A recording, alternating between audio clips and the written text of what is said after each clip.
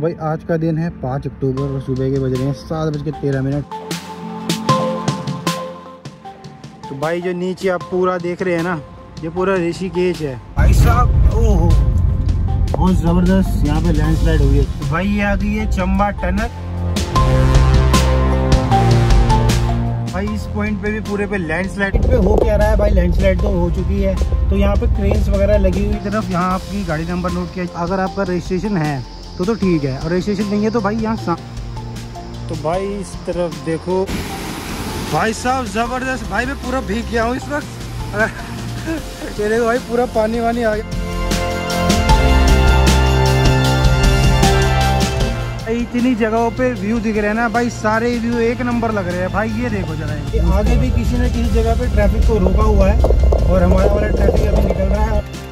भाई सात आठ मिनट हो चुके हैं ऐसे ही खड़े हुए हैं। लगता आगे कुछ लंबा जाम लग गया है। भाई साहब, ज़बरदस्त जाम लग चुका है। और ये रास्ता जा रहा है हरसील के लिए? तो भाई मेन मंदिर है इधर।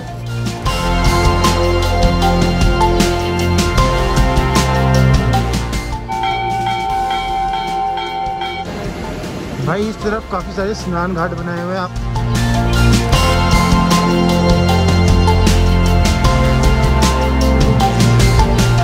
के व्यू देखो जरा नीचे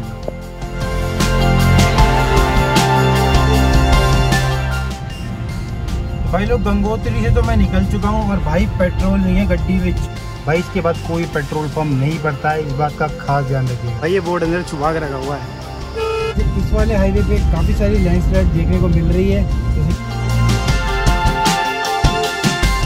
दो मिनट के लिए रुक गया था क्योंकि भाई इतनी बकवास रोड है ना इतनी बकवास। भाई हालत खराब हो गई चलते चलते तो भाई वो वाला जो पॉइंट है ना वहाँ पे कोई टनल बनाई जा रही है। पॉइंट पे आपका रजिस्ट्रेशन चेक होगा। बस कुछ नहीं है वाला। भाई रोड काफ़ी पतली है भाई यहाँ पे। अबे यार। भाई पॉइंट से चढ़ाई और भी ज़्यादा खड़ी है। और सीढ़ी है सारी। चलते हैं भाई।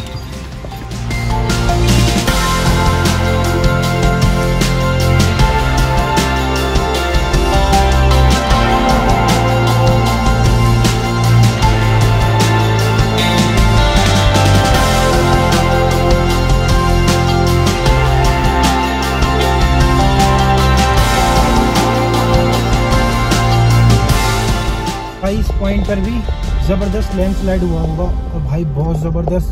सोचो, रात को इस पर चढ़ाना कितनी सिरदर्दी वाला काम होगा अंधेरे में। पर भाई, सामने की तरफ़ एक मंदिर है।